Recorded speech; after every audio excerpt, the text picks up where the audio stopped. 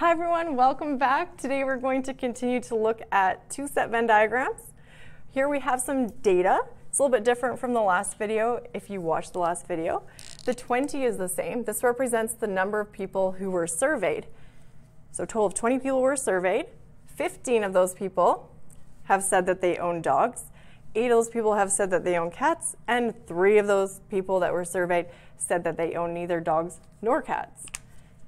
Today, Pippi's gonna help me out a bit, hopefully. hopefully it doesn't fall over. What we're gonna do, Pippi, is make a little box to house our data.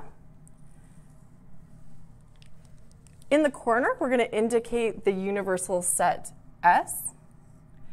And as I pointed out over here, the number of elements in our universal set is 20. Again, this is not technically part of the Venn diagram, but it's just a good reminder for us to check in the end that the total elements within this Venn diagram is going to be 20.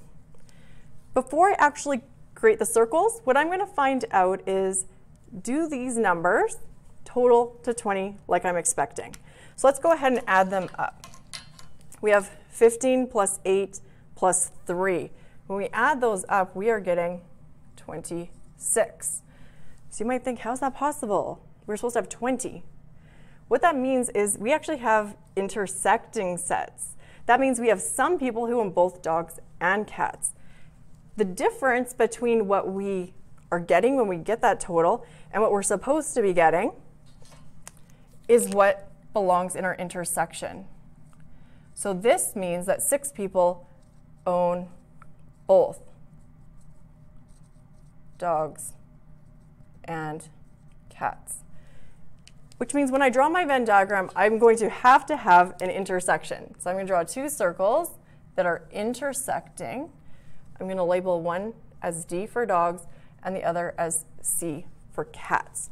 I'm going to take the six that I've figured out belongs in the intersection, and I'm going to put that in the region of overlap. That's representing those who own both dogs and cats.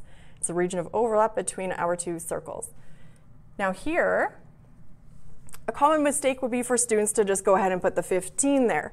But remember, six of those are already accounted for in the middle. So what actually belongs there is 15 minus 6. Pippi, what does that work out? Nine. Nine, yes, good. There we go. Nine. Let's go over to cats. So going back to our data over here, we have eight people who say they own cats, but six have already been accounted for in the middle. So we're going to go 8 minus 6 to get the 2 that own cats only. The last thing we need to take into account is the 3 who own neither dogs nor cats. That's going to go in the outer region. And in fact, I could have put that in earlier on because that's the only place where it could go. Before I say I'm done, I'm just going to do a quick check to make sure that all of these add up to the 20. So let's go ahead and do that. So 9 plus 6 plus 2 plus 3 does give me 20.